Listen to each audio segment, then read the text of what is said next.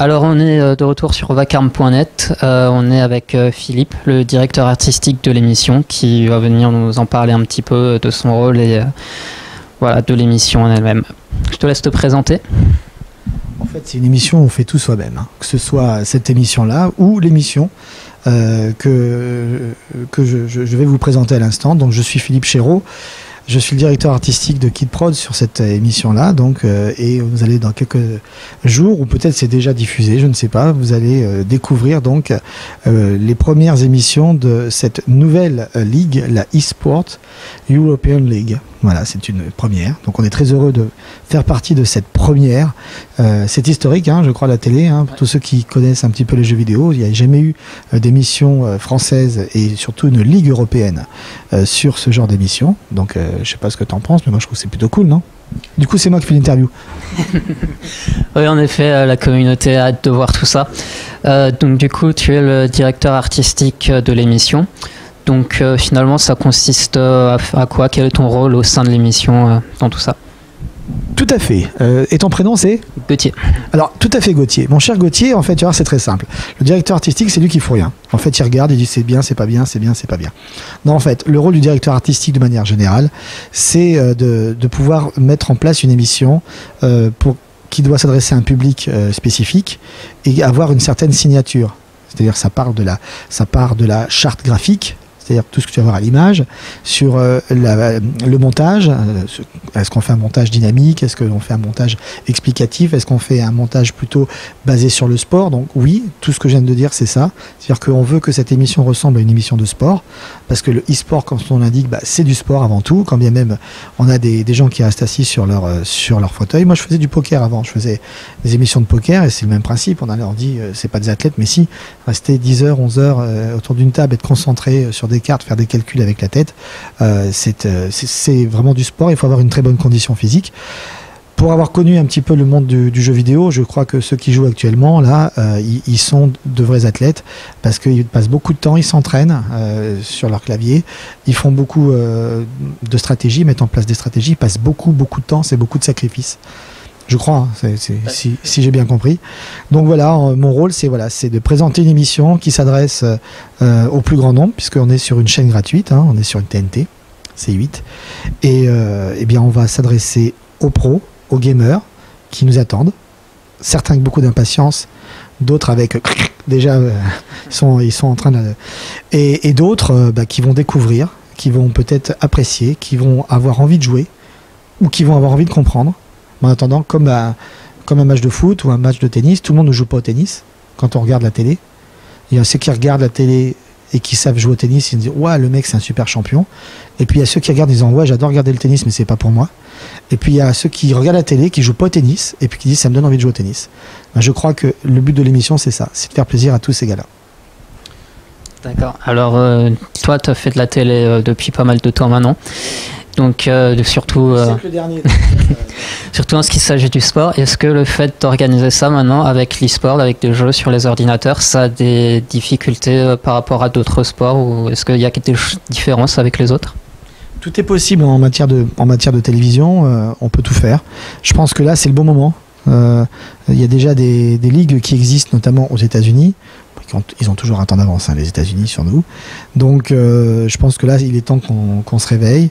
Il y a de très bonnes équipes en France, il y a de très bons joueurs, il y a de très bonnes équipes en Europe. Là, on a, euh, sur cette première saison, on a parmi les meilleures équipes mondiales. Donc, euh, c'est quand même pas mal. Et dans ces équipes mondiales, il y a des équipes françaises. donc non, il n'y a, pas de bon moment, de mauvais moment. Je crois que oui, il y a le moment que là, on sent que le e-sport commence à prendre. Bon, les jeux vidéo, ça fait déjà quand même pas mal de temps. Donc maintenant, il faut, voilà, faut professionnaliser tout cela au sein d'une ligue et il faut rendre cela aussi connu pour le plus grand public. Et le meilleur vecteur pour, euh, pour se faire connaître, eh c'est l'image. Donc tu as la télé pour le plus grand nombre et tu as le digital, autrement dit les ordinateurs pour les spécialistes et puis pour, euh, pour la communauté.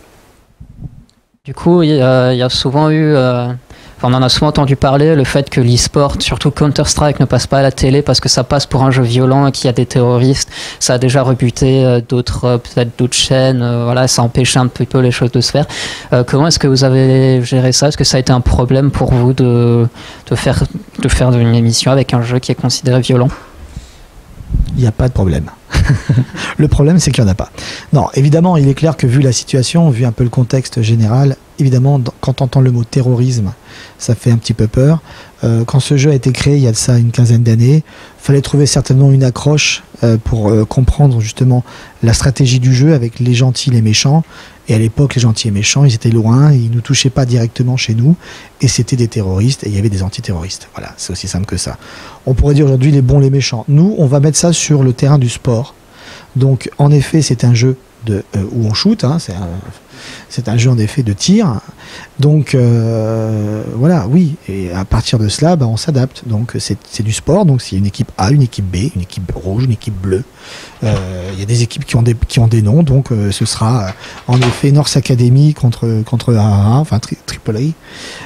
Et, et, voilà, on va on va mettre ça sur sur un vocable qui est beaucoup plus facile à comprendre et qui ne va ne pas faire peur. Parce que en plus ces mots-là peuvent choquer aujourd'hui, j'en conviens complètement. Il y a des gens qui ont été touchés par ce genre d'événement, il faut, il faut y, penser, mais nous, ce qu'on essaye dans n'importe quelle émission, quand c'est des émissions de sport, des émissions de divertissement, moi, je, c'est ce que j'essaye de faire, en tout cas euh, avec, avec beaucoup de bienveillance. C'est de dire, en effet, il y a des choses qui se passent dans la vie, on est peut-être touché, mais on essaye pendant au moins une heure, deux heures à la télé, euh, que bah, tous ces problèmes, on les met de côté, et on essaye de se divertir, de penser à autre chose. Voilà.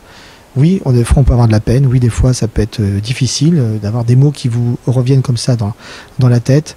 Bah, dans ce cas-là, bah, on, ne regarde pas ou alors on s'en préserve. Et puis pour ceux qui acceptent, et eh ben voilà, on va dire on va mettre ça de côté et puis on, va passer un bon moment.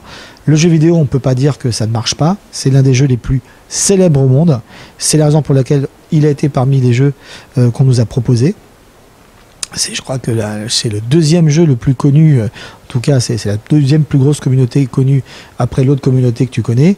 Euh, donc voilà, je veux dire, à un moment donné, si on veut faire un truc sympa, si on veut montrer un petit peu quel est, l'engouement pour le e-sport, faut pas aller chercher un jeu que personne connaît. On est d'accord.